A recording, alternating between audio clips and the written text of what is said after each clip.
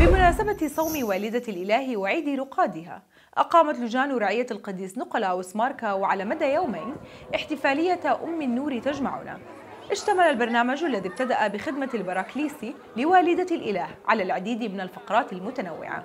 تضمنت أسئلة روحية حول حياة أمنا العذراء ومسابقة بعنوان اعرف اسم الأيقونة بهدف تعريف أبناء الرعية بأيقونات أم الإله المتنوعة.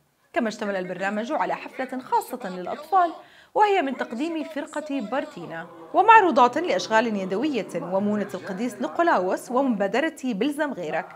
إضافة إلى فقرات عديدة وألعاب متنوعة ومسابقات روحية للكبار والصغار. وخلال الاحتفال أعلن عن إطلاق مشروع مونة مار نيقولا للمنتجات الغذائية وهي من صنع سيدات الكنيسة.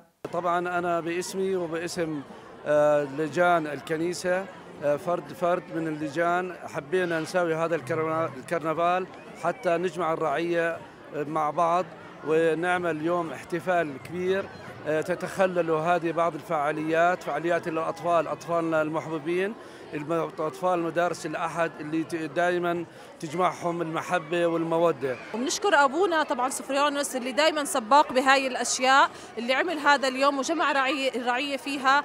وطبعا كثير أولادنا انبسطوا وتسلوا. كان معنا محطة بارتينا مجموعة بارتينا مجموعة من الألعاب.